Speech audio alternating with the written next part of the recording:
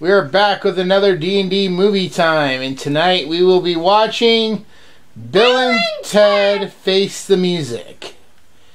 Um so Cora, what do you remember from the last Bill and Ted movie, Bogus Journey? So, Bill and Ted, well, pretty much remember the whole scene, um, had married the princesses, but then the worst enemy sent two evil versions that look like them, Bill and Ted, sent after them to kill them, and then ruin their whole entire duality. That's why Bill and Ted's music and the history is completely gone and it's all his. And since you I, don't s- want to I said it in Bill and Ted's Bogus Journey. I said I was talking about Next Door. Nothing happens with the history. They just get killed by evil robot Terminator versions of them. I know, but I'm saying what he was planning. Oh. Well, you didn't make that clear with what you said. I said what he was planning. Did you not? It would change the future. It wouldn't change all of history. It would just change the future. So he would be in charge. So, did the robot succeed in killing Bill and Ted? Yes, but Then what happens? since I don't want to make this too long, they go ahead and escape a nightmare room. De- they go ahead and challenge death at three games. And they get out, go to heaven, somehow it's death in heaven. I don't know how that's even possible. They go ahead, meet the two scientists slash one biggest brain scientist ever. And say the funny line. Station. Well, what do you think the smartest people on also be human? Uh, And they go couple scenes later because I don't want to make this too long. Uh, they go ahead, build get robots on themselves, and they go ahead, bad versus good, mini short fight, okay. toilistic fight. I tried to take everything off that chair. She still found something to play with. and um, they and then Bill and Ted go ahead. Do they? So and they won, right? We already did that in the review. You don't have to go that step by step. Jeez. Okay. So then they go back to life and they win. Okay, so moving on to Bill and Ted Face the Music. Um, before we get into it, I just want to say um, I had reservations going into this movie, which I'll dive more into during my score. I was looking forward to this, but at the same time, the more information that came out, I wasn't looking forward to it. It was a 50 50 for me, so I was on the fence going in. But I have seen this before, and I think this will be like my second time. So I'll probably be viewing it more critically this time. Um, Cora, I think, has only seen bits and pieces. I don't think she watched it with me the first time I watched it. So, all right, let's just go ahead and jump right into Bill and Ted Face the Music.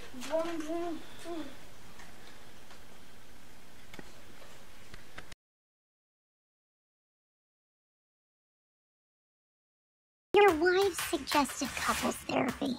Do you think this is what they had in mind? Go to heaven and hell. You should help him out. No way! How's it going, Billy? Party on, dudes! Yeah, Billy! How you doing? Well, you know, dead and we're in hell. But how you doing? We're good. All right, so we just finished. Bill and Ted's Face the Music. What's this movie about, Cora?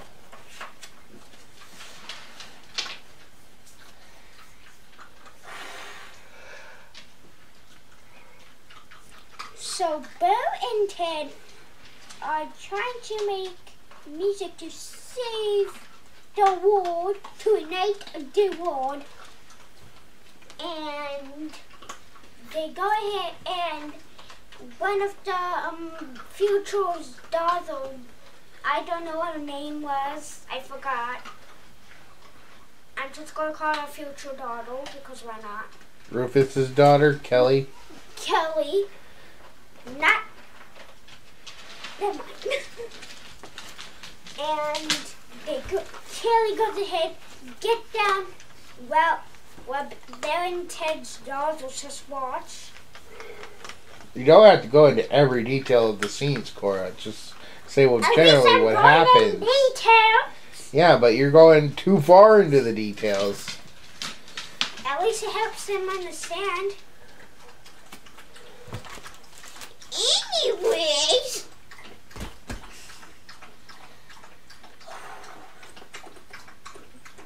Come on. they go ahead and Bill and Ted travel to a one reality. Well, they go in where they are some sort of bad and two pe- and they tell a whole story that the, the princesses left them. They're, what are they trying to do? You haven't said what they're trying to do. Why are they going to see other versions of them? to go ahead and steal the song because they have to go ahead and get to a specific place at a specific time and, and make us perfect song, the most amazing song ever.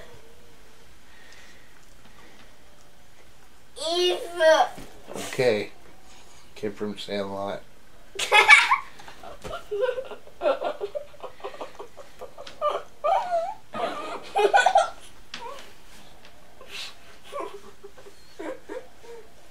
Are you going to continue?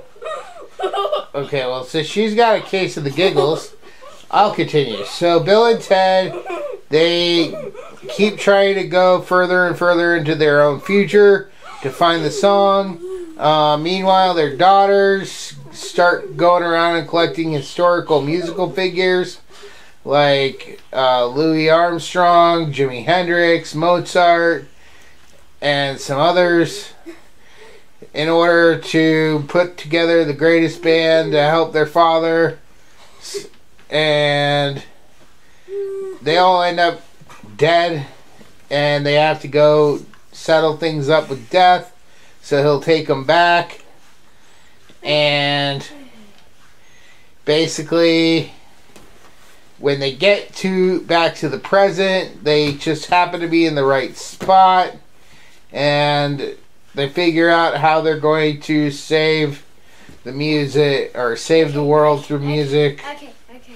I'm done. I'm done with my case. Okay. Well, anyways, that was Bill and Ted Face the Music. Uh, ultimately, they do end up saving the universe, and the I guess the thing comes true. And they made the most awesomest song that I have ever heard in my entire life. But um, But it's not the best comedy song. But anyways, we're gonna take a quick break. When we come back, we will give our final scores. And with that said, we'll see you in a minute. Bye. For thousands of years, the world has been protected by the Guardian of Light, or as he is more commonly known, Santa Claus. Over the centuries, factors such as fear and prejudice, greed and jealousy, misunderstandings, betrayal and war have segregated most humans from the magical world of elves, fairies, wizards, and the like. This has resulted in many misconceptions and generalizations of the true nature of Santa and his world. This six book series by Shaun Connaughton begins as the current of a long series of guardians is murdered by a group of monstrous enemies recently escaped from an enchanted South Pole prison. These creatures are loyal to the darkness, an evil force determined to exterminate the light in order to enslave all creatures of the world. Shane Connor, an average young man, suddenly finds himself being trained as the new guardian. As he adapts to his new life among fantastic creatures, he goes on an adventurous quest with a legendary wizard for the ultimate weapon to use against the darkness, and faces murderous enemies like Rasputin, Morgana Le Fay, Krampus, and many more. Along with his best friend Joe Gomez, Shane encounters politics, history, mysterious murders, new loves, his own hidden past, and racial dynamics among the fantasy races that turn out to be all too real. Their adventures reveal the true nature of the world and challenge the current state of how all races interact. This series expertly melds myths, legends, history, faiths, folklore, and secret societies into a fascinating, cohesive, comprehensive world of wonder and magic. From Atlantis to Olympus, from Hades to the moon, and from broomstick races to Christmas deadlines, join the new Santa Claus on his amazing journey. But beware! Will Shane's quest achieve his ultimate goal of destroying the darkness and preserving the light of the world? Or is he actually playing right into a plot by dark forces that will result in his, and our, ultimate doom? So make your list and check it twice for the Guardian of Light book series. Download your audiobook or ebook today from Audible, Amazon, or iTunes.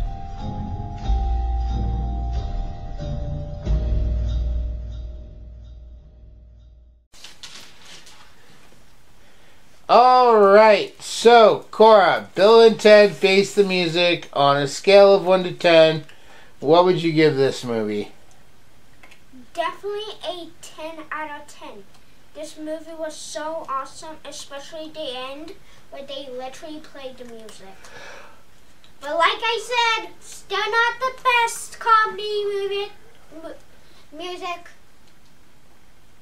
The Mario movie, well, Bowser Scenes is still the best comedy music I've ever heard. Okay. Did you have a favorite character? I would probably say the two Te- Bella and Ted's daughters, but if I had to choose between one, I think Bella's. Ugh. I think they're like most funny, but I think Bella was the most funny. Or was it Ted? I don't know. I don't know. Favorite characters? They both get me mixed up, but I thought you were going to say Dennis. but we don't usually really see him much.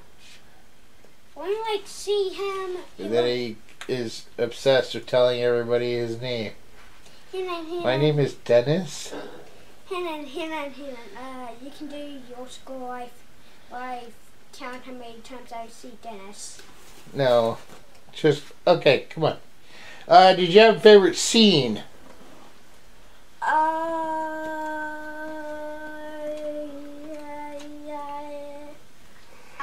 The end where they're playing all the music because you've mentioned that a couple times. Yes. Okay.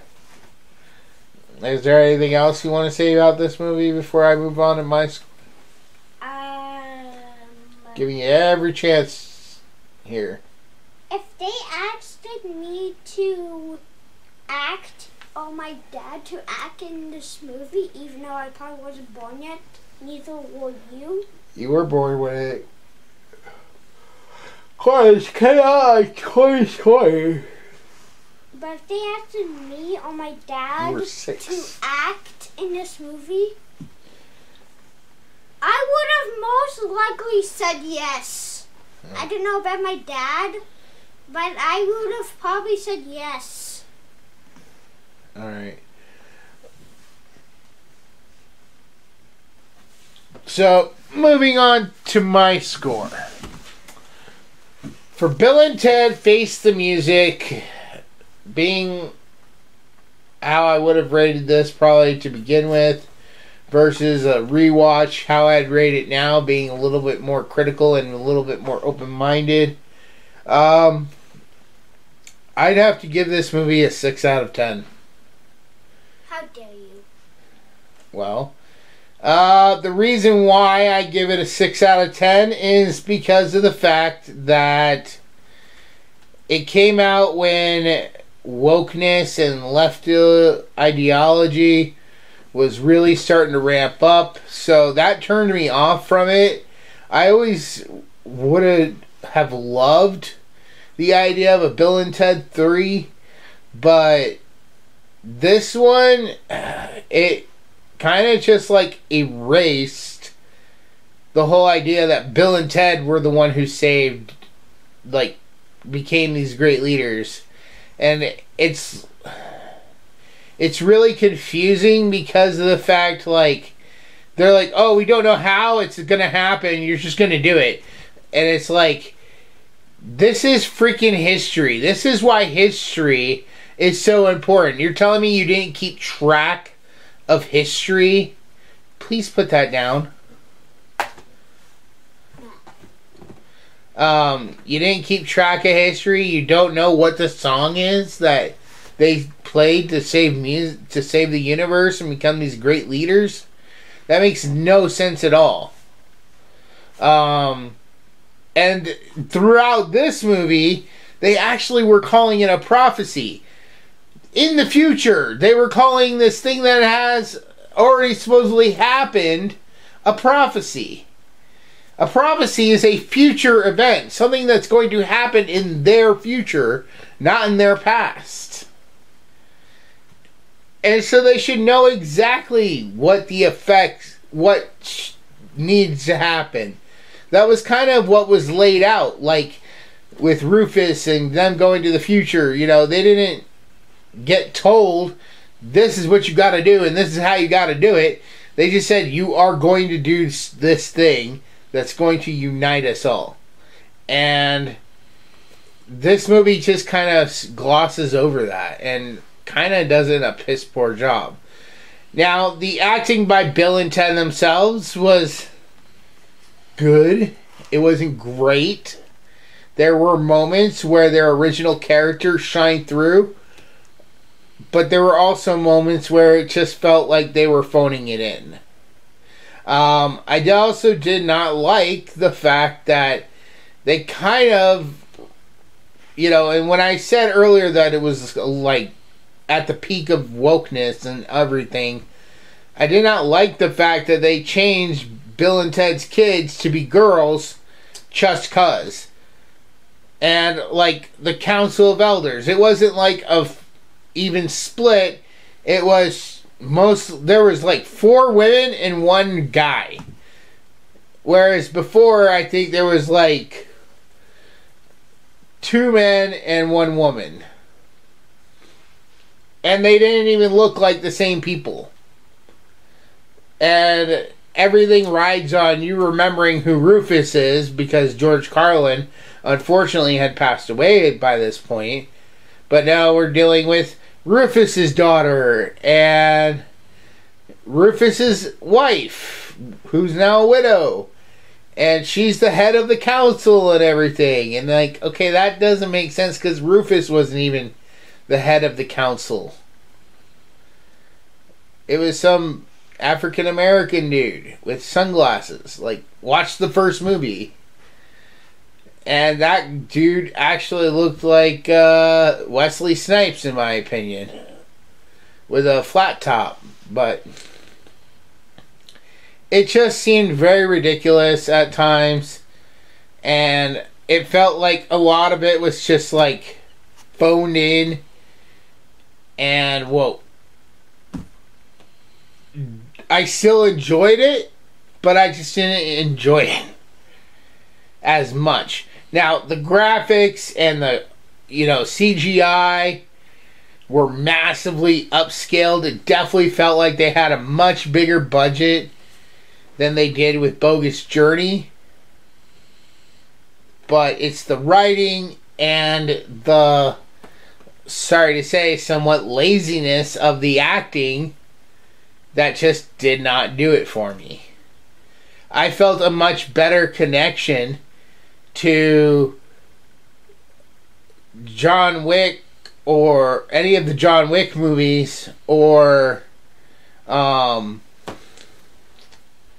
what's that other one? It's right on the tip of my tongue. Oh, Matrix. The way Keanu Reeves brought back Neo, even though like Neo is supposed to be dead in the fourth Matrix movie, that felt like he put more effort into that than some of the effort that was put in here.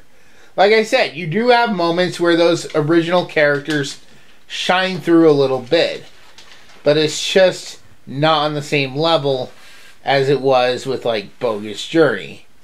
So, and it definitely didn't live up to Excellent Adventure. So, I'm glad I got to see it. I'm glad we have it. It's a great conclusion, but it needed better writing. It needed better thought. It needed maybe a little bit more of the kinks worked out and a little bit more effort on pretty much all the actors. I'd say the best two actors in the movie was probably the princesses, who I believe were actually way more included in this one. And better characters than we've seen them throughout the entire series because they had more to do here. So, but that's going to go ahead and wrap this up. We are finally done with the Bill and Ted franchise, and I hope they never make any more. So, Oh, how dare you! well, nothing can live up to the original. I don't want to see them recast it with new people. So, I mean, maybe they will. Who knows? They like to do tons of remakes anyway.